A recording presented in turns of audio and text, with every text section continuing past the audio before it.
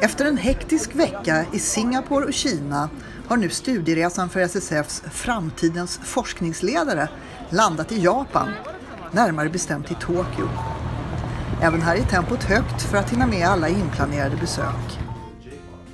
Måndagen började med ett besök på den svenska ambassaden där vi fick lyssna till vår värd Mikael Jakob och doktor Takiharu Ujima, Council for Science, Technology och Innovation.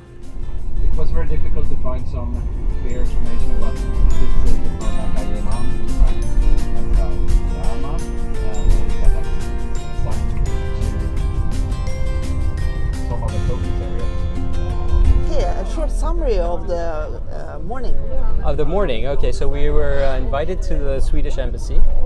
Uh, we were greeted uh, by Michael Jakob uh, from uh, the Office of Science Innovation and uh, from the embassy, and he gave us uh, an overview of of the research ecosystem in, in in Japan and how it relates to the Jap- Japanese, well, the Swedish research ecosystem, and what kind of collaborations and efforts the embassy is doing to promote collaborations.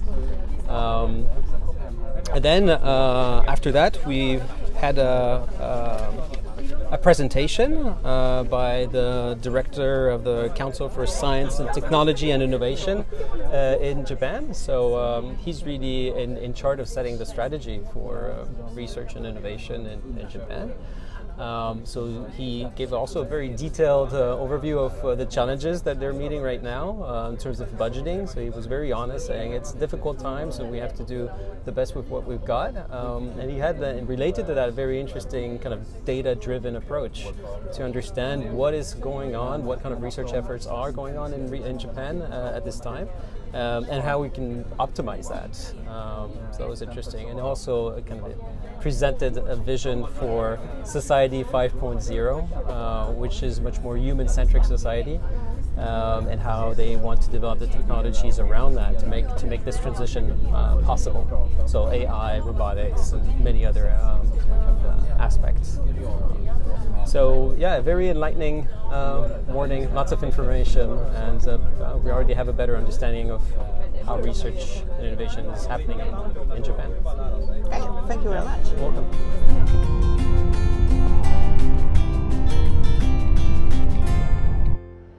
Vi ska någonstans nu? Nu ska vi till eh, Japan eh, Science and Technology Agency eh, som är något av den eh, japanska motsvarigheten till Vinnova kan man säga. Eh, här ska vi träffa ett antal representanter för olika enheter eller departments inom eh, JST.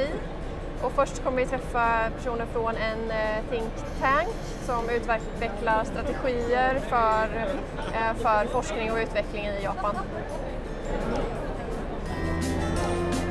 Men vi fick också en guidad tur på Miraikan, the National Museum of Emerging Science and Innovation. På varje plan i detta sexvåningshus pågår forskning och för att allmänheten ska kunna ta del av den har varje laboratorium en glasvägg. Men det fanns också annat att titta på. Ännu en intressant och lång dag med FFLs studieresa.